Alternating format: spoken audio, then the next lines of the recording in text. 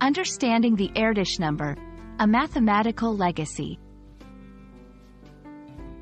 Hello everyone, today we're diving into a unique and fascinating concept within the world of mathematics, the Erdős Number. This intriguing number links people through their collaborative efforts in publishing mathematical papers.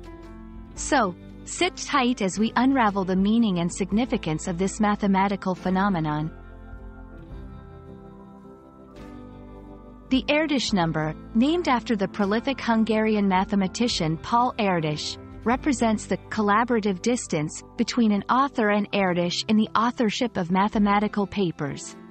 Paul Erdős was known for his extensive collaboration, having written papers with over 500 different mathematicians. Here's how it works. If you've co-authored a paper with Erdős, your Erdős number is 1. If you've collaborated with someone who has an Erdős number of 1, yours is 2, and so forth. If you've never written a paper connected to Erdős Extensive Collaboration Network, you don't have an Erdős number. Erdős numbers go beyond just a count. They symbolize the collaborative spirit in the mathematics community. They also highlight connections among researchers encourage collaboration, as some strive to lower their Erdős number, serve as an informal measure of a mathematician's collaborative reach.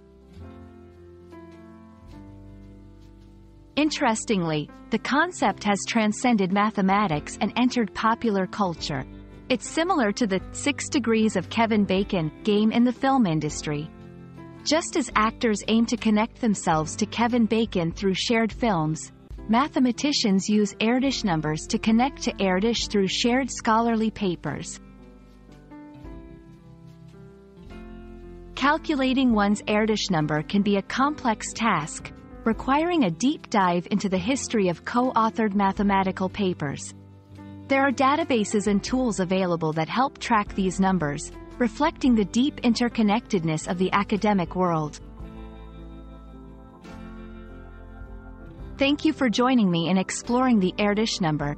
This little number has a big impact on the way we see relationships and collaboration in mathematics.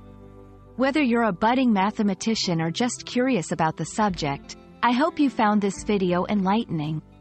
Until next time, keep connecting the dots in your own field of study.